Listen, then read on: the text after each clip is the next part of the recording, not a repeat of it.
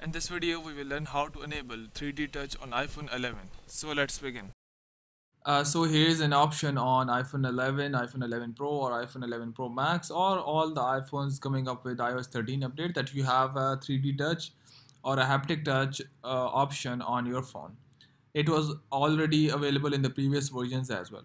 So what it does is if you tap on an app, what it does is it gives you multiple options uh, before uh, going for that delete or uninstallation app process. So it gives you multiple options to do the things like if I go to the iMessage, it will give me new message or whatever options I like. And furthermore, what it does is, for example, if I go and tap on this antenna icon to turn on my hotspot, what if I tap this firmly, like with pressure, what it would do is it would open different options for me. So this is the 3D touch. So to turn it on, what you need to do is just go and open your settings.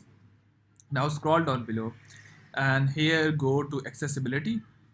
Now scroll down below under the physical and motor, just go and tap on touch. Now here we have 3D and haptic touch. It says when 3D touch is on, you can press the display using different degrees of pressure to reveal content previews, actions and contextual meaning. Just go and tap on this and it all depends upon the pressure you want to exert. So if you uh, put an extra uh, pressure on your screen, it would have different previews for your apps. So just so just go and turn it on, and here we have, and here you can select the sensitivity if you want to be uh, to like to have more pressure on to show the different previews. So you can select the firm, or it, I would go for the medium one.